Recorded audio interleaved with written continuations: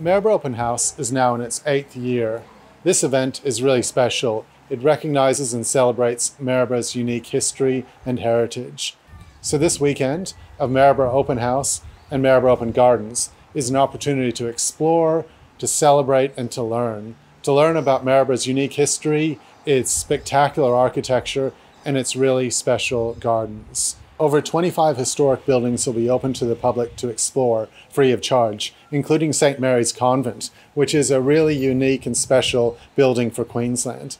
So there's this this old building here, the convent, um, which was built in 19 uh, sorry 1893, and uh, the Sisters of Mercy moved up here. And this is actually where our, our girls, because this was a girls' school, they boarded. 2005, it was actually uh, deemed inhabitable, so they were going to demolish it. We had some very um, passionate uh, teachers, uh, staff, and parishioners who fought to keep the building open. At, at that time, there was only one room that was being utilised by the sisters uh, who were teaching music. The rest of it wasn't able to be um, accessed.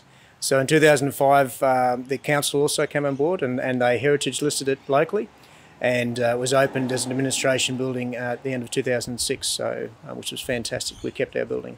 The the tours are operating on Saturday, the 21st of September. That's this Saturday, and uh, they're operating from 10 till 3. So Father Ted will be waiting for our visitors and looking forward to meeting them all. So everybody's welcome.